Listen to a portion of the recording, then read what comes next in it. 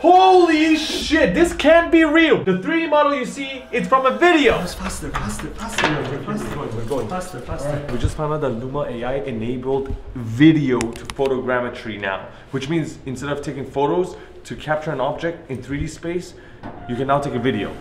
And it's sundown, so we only have about a couple minutes before it turns dark. That's why we're fucking running right now to get that fucking video and show you guys how good or bad is the Luma AI videogrammetry.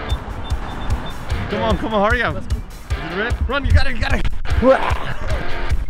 Let's go, let's So go. we are trying this payphone over here. This is three loops, different heights. So Chest middle, height, low, mid, and high. top. Going the second round. Now the high angle.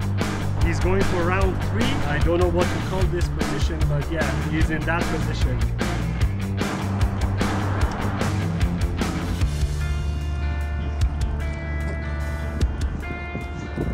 So Okay. as the backup, you're gonna. All right, so we two. just we just finished up with autopay, and now we're gonna do this guy. Actually, I need that for all of my AR filters. so There you go. This should be easy. Yeah. So instead of taking photos, we're not just taking a video.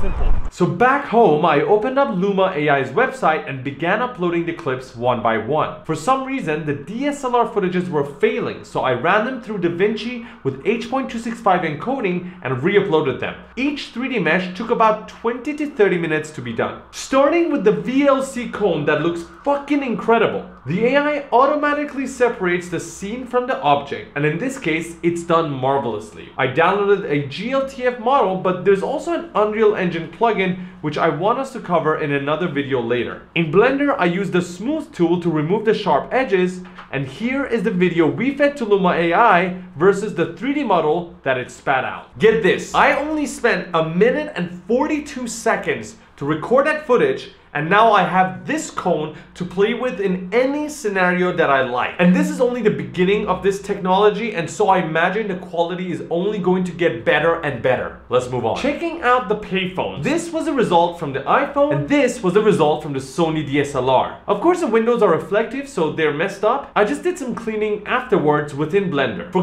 comparison's sake, I also put them side by side and as you can notice, the DSLR has sharper quality not just because of the image quality of the camera, but also because I did get up close to the autopay.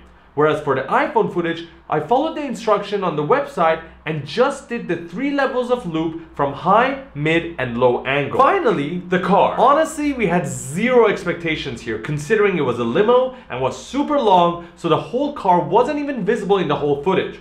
On top of that, the car had a reflective paint, which is a big no-no. Let's not even mention how dark it was outside. Nonetheless, that was a pretty impressive result for the car if you're just using it in the background. Tomorrow, what we're going to do is use these assets to create a very, very, very quick and short video to see how these assets perform if you're using them in the 3D software for background purposes. So stay tuned. We'll see you guys tomorrow.